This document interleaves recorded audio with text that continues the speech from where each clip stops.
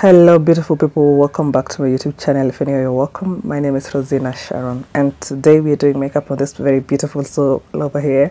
And uh, before you do that, kindly subscribe, share your thoughts in the comment section down below. I'll be reading all of them kama kawaida.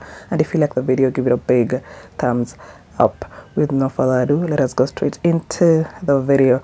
So to start off, we're going to start off with her eyebrows to line especially when i'm doing chocolate to dark skin i normally start off with uh, the davis number three eye pencil to line following uh, the exact eyebrow shape and uh, on the upper side i'm just going to use a spoolie to level it first. I'm not going to push the eyebrows down just level it. And then uh, use the very same uh, davis number three eye pencil to line the upper side as well. When i'm doing a client's makeup i make sure to raise the eyebrows around the corners when i do this. So before we start filling i'm just going to use a a bit of Becca primer to brush through her eyebrows. And then after you're done make sure you press that product in so it holds onto the eyebrows. Then after wait for the product to dry out completely first before you start filling in. And uh, to fill in for starters i'm starting off with the davis number three a pencil. Starting um, from the outer corner going towards the uh, inner corner concentrating it mostly on the areas where I feel like there is space. And then after that I'm going to use a darker eyebrow pencil. This is number one. And I'm going to use that to draw hair-like structures. Depending on how her eyebrows are like you can draw hair-like structures going all the way to the outer corner. But here I'm just going to concentrate it mostly on the areas where I feel like there is a space. That is the technique I use to line chocolate to dark skin. And then after that to clean her eyebrows i'm going to use a LA Girl pro concealer in the shade fawn this is like three shades lighter than her skin tone. I'm not going to start off directly from the inner corner leave a bit of space there. Just use the product from uh, the point where you can see to the outer corner and then drag the concealer down when you're done. Then after you're done clean the brush and then use a foundation on the inner corner so unless it, it, you can see that crisp line around the middle to the outer corner but around the inner corner it is it looks very very natural. So that is the technique i use. On the upper side we're just going to use a foundation to line the upper side as well. And after that before we start applying eyeshadow we're going to set her lids uh, using the very same concealer we used to clean the first time. Girl Pro Concealer in the shade Fawn and then um, for eyeshadow today we're going to use the Afu eyeshadow. Is it Afu or Afu? Afu eyeshadow. This eyeshadow is so pigmented, let me tell you. It is one of the best eyeshadows I've ever come across. So that is the shade we're going for for our first transition. For first transition, we're going to place it from the outer corner going towards the inner corner, concentrating it mostly on the upper lid as we go towards the inner corner. From outer corner going towards the inner corner concentrating on the upper lid around the middle part as we go towards the inner corner. And around the inner corner we're going to blend it downwards. Then after we're done with the first transition we're going to blend at the edge of the first transition. And for this i'm just using uh, it has more of a red undertone to it to blend the first transition and then after that we're going to do a cut crease starting from the inner corner using the P. Louise eyeshadow base in the shade number two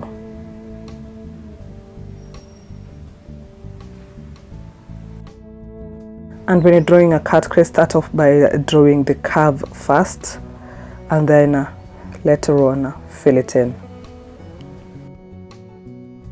and then for the cut crease I'm going to start off blending from the outer corner using a shade close to the shade we started off as our first transition. And then uh, on the rest of the cut crease I'm going to use this bright very bright nude shade.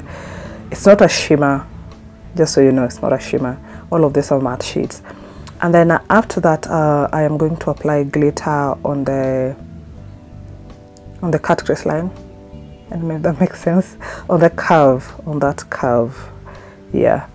So I'm starting off with the glue first and then I'm going to apply glitter on top of uh, just press glitter on top of the glue line I just uh, drew before. And then after we're done with that we're going to draw a wing eye using the Zaron um, eyeliner gel so I start off by just drawing one line and then when we are drawing the wing make sure your client is looking straight up. And then now you can connect um, the lines when her eyes closed. And then after we're done with the eye makeup we have not done the lashes yet but we're going to clean the face first. And then after that just apply the falsies and I wanted some falsies that were going to flatter her eye shape so something that started off very short and then long around the outer corner. And then after that uh, we are going to do the eyeliner the cream eyeliner on her waterline so we don't do it after foundation.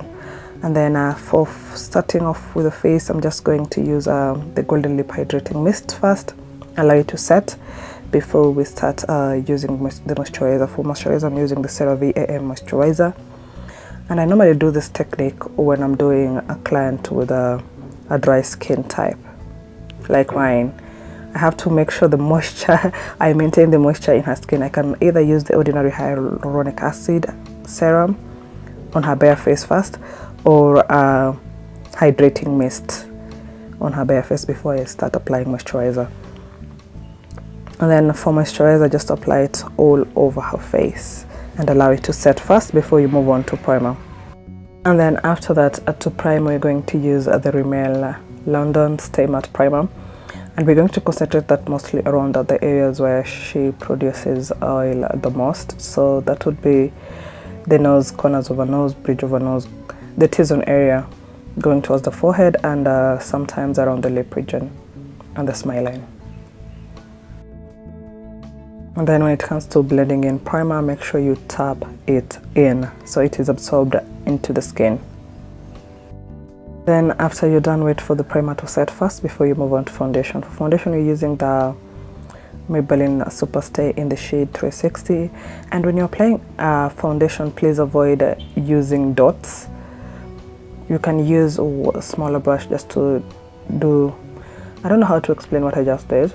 It's like more over lines coming down like that and then you blend it in. I am using a foundation brush to blend it in and uh, please avoid using too much product. Little product goes a very long way so avoid using too much product and avoid uh, placing a fresh product around uh, the corners of the nose and uh, the under eye. So that is the foundation we're just going to use on her face today and uh, blend blend blend blend blend. Take your time to blend okay? And whatever you do to the face make sure you uh, blend the neck as well. And then on the upper side start off just above the eyebrows going up so you avoid using too much product around the hairline region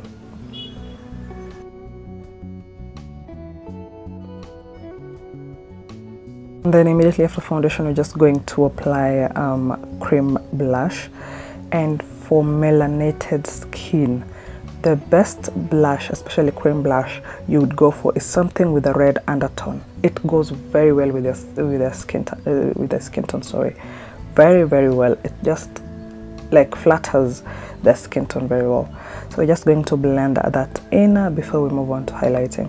To highlighting, I am using the Girl Pro Concealer in the shade Fawn. I know it is a bright shade, but it has a warm undertone. That is why I use it on her. It has a warm undertone, and a warm undertone flatters melanated skin very well. So I'm starting off with the under eye and then the product remaining is what I use on the bridge of the nose and just a tiny bit of a product around the forehead region. And when you apply concealer on the forehead region when you're blending it in uh, spread it out side to side okay? Do not just blend it going up because you might use a lot of product on your forehead. Your forehead is going to look way too bright. So you spread it out side to side when you're blending. And then after that to set I'm going to use the ZKL blush and contour palette highlight blush and contour palette here and uh, I'm going to use a compact powder that is uh, like two shades lighter than her skin just to set in the areas where I highlighted uh, using the concealer. And when it comes to melanated skin trust me use a finishing powder instead of uh, this bright setting powders. It works like magic and then for her cheek area where I, I, did the blush I'm just going to apply a bit of bronzer because I wanted to warm up her face. Not too much of a contour just a, a bronzed look on her cheeks. And then I'm going to contour the forehead. And then connect it down to the other side as well. So make sure that you, the contour and uh, the bronzer on the cheek connect then after that I'm just going to do a bit of contour on uh, her nose and make sure I blend that in completely because we don't want to have any harsh lines especially on the nose contour. Then after that we're going to wing her under eye inner corner because she has very beautiful eyes and I just wanted to bring them out. Look at that. Can you see the eye shape? It's amazing with that wing on the inner corner as well. Looks amazing so after that we're just going to use a setting spray to set this whole makeup in. And then after that we're using the Juvia's loose highlighter just a tiny bit of it around the tip of the nose. Yeah like that. And then blend it in with the with my finger. And then after we're done with that is when I will move on to lipstick. I'm just lip lining using the Davis number one eyebrow pencil first because uh, the lip I was going for today is something that is going to at least match her eye makeup. So after applying the lip liner make sure the lip liner blends in like blending the lip liner completely first before you start applying the lipstick you're going for. So for lipstick I wanted to go with the Wet n Wild in this shade first on top of the lip liner. And then I use a bit of a pink a bright pink on the middle part of the lip. So it's it creates that ombre and then I use a bit of gloss on top. And then we have her to make sure her skin is glowing as well you know. So at least it matches her face. And uh, that is it for me today guys. This is the final look and I loved it. I this was like perfection for me. I loved loved loved how it turned out. So for products on uh, melanated skin red orange undertone works the best. And look at her. Let me know what you think on the comment section. Uh, that would be it from me today. See you on my next video. Thank you so, so much for watching. Bye